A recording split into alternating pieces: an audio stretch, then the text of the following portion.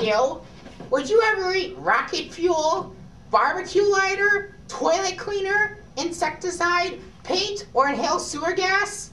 You will if you put a cigarette in your mouth. Ah! Ay ah! caramba! Ah! Thank you.